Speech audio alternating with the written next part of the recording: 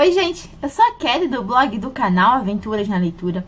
E hoje, dia 8 de março, a gente comemora o Dia Internacional da Mulher, sendo que pra mim, nosso dia é todo dia.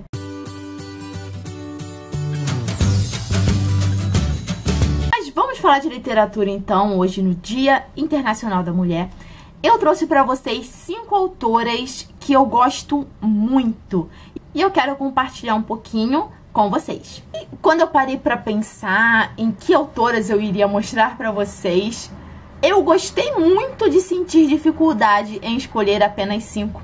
Isso significa que eu estou lendo bastante mulheres, eu leio bastante mulheres.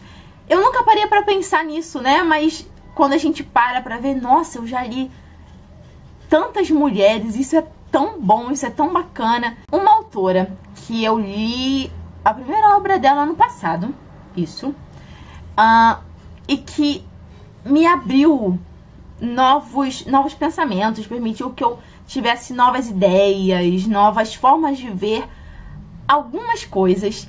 É nada mais, nada menos do que a Virginia Woolf. Eu comecei justamente por esse livrinho aqui, ó, que é o Profissões para Mulheres e Outros Artigos Feministas, que é uma, justamente uma reunião de artigos da Virginia Woolf sobre o feminismo. A Virginia Woolf é uma romancista muito conhecida no meio da literatura inglesa e da literatura mundial, é claro. Nesse livrinho aqui, a gente tem sete ensaios escritos pela Virginia Woolf, onde ela propõe diversas reflexões. Ela coloca as dificuldades que as mulheres têm no dia a dia. E isso na época que esse livro foi escrito, ó, há um tempinho já. Então aqui ela vai acabar questionando essa visão tradicional, né, é, da mulher. Esse, essa forma tradicional de ser mulher, que na época dela, né, na, na, no século 20, existia muito, muito mesmo. Então tá aqui, Virginia Woolf, eu admiro muito. A próxima autora que eu vou mostrar pra vocês um, escreve romance policial, escreve literatura policial e gosta muito de investigação. É nada mais nada menos do que a incrível Agatha Christie. Quem me conhece, que me acompanha aqui há um tempinho, sabe lá no blog também o quanto eu gosto da Agatha Christie. E mais uma mulher aí que é muito conhecida na literatura mundial, com os seus livros policiais, que envolvem detetives, investigação, muito mistério e que sempre vai prender o leitor de um jeito ou de outro. Não é à toa que a Agatha Christie é conhecida como a rainha do crime. Então tá aqui mais uma indicação para vocês. A próxima autora que eu vou mostrar para vocês aqui é do século XIX e é a incrível Jane Austen.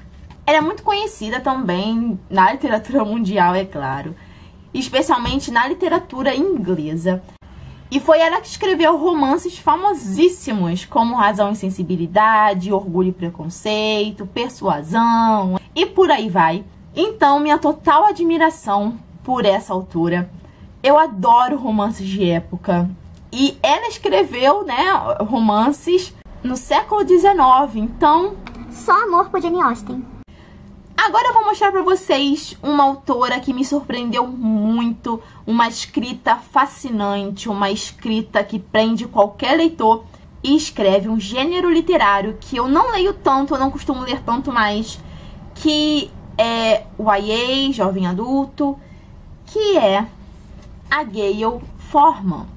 A Gayle Forman escreveu Se Eu Ficar e para onde ela foi, além de outras obras, é claro, mas eu li esses dois livrinhos dela aqui. Gayle Forman é uma escritora norte-americana e quando eu li o Se Eu Ficar, foi uma leitura que me prendeu muito. Quando eu li o Se Eu Ficar, eu não estava aqui no Rio, eu estava viajando.